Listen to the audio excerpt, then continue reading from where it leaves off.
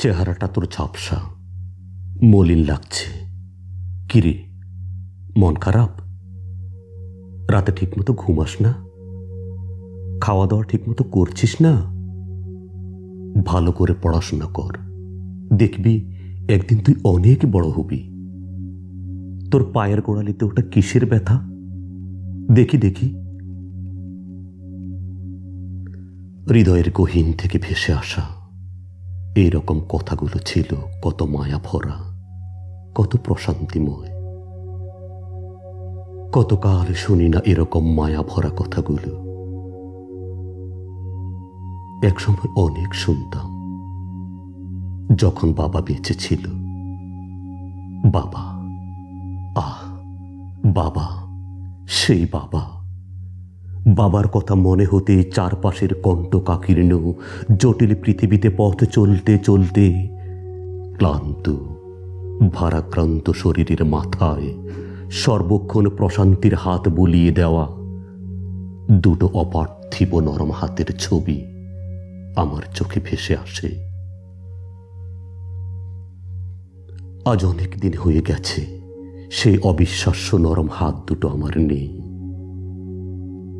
সময়ের নিষ্কুরণ মহাস্রোতে মিশে তা নীলিনে হয়ে গেছে কবি?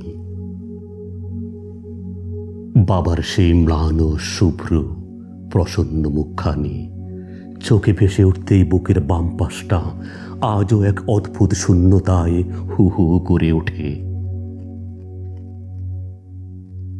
কতকাল আমি পাই না সেই দুটো নরম হাতের প্রশান্তিময় পরশে। সেই দুটো নরম হাত বিহীন কষ্টগুলো যেন নীড় থেকে বিচ্ছিন্ন, অসহায় পাখির ছানাদের কষ্টের মতোই। আমার বাবাকে দেখতে মনে হতো একজন রাসভারী মানুষ। কিন্তু আদৌকে তিনি ছিলেন খুব নরম মনের মানুষ। ভেতরটা ছিল নদীর শান্ত ঝিরে ঝিরে ঢেউয়ের মতো মোলায়েম।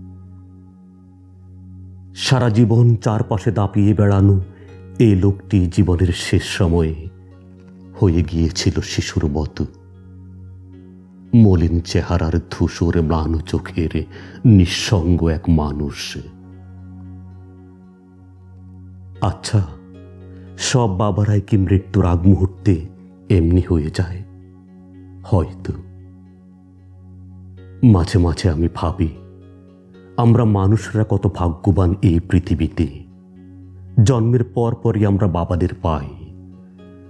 তারপর জীবনের এক সুদীর্ঘ সময় পর্যন্ত আমরা বাবাদের নরম, অকৃত্রিম আশ্রয়ে বড় হই।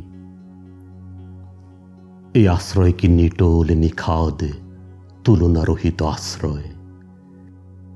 এই আশ্রয় এক অত্যাশ্চর্যকর আশ্রয়। এই পৃথিবীতে একমাত্র বাবারা ছাড়া আর কেউ কি দিতে পারে এমন আশ্রয়?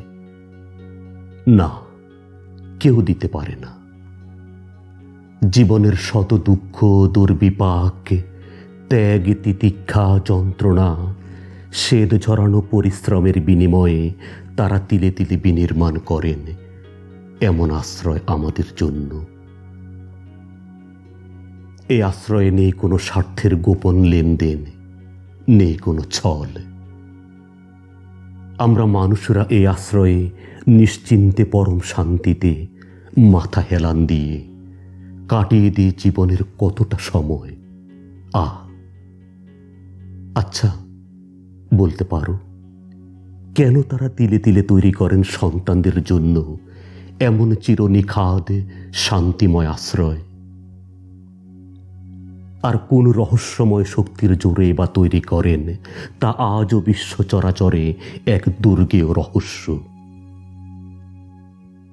জন্মের পরপরই এমন প্রশান্তি ভরা, অপ্রীতিম আশ্রয় না পেলে আমরা মানুষরা কোথায় যেতাম বলতে পারো?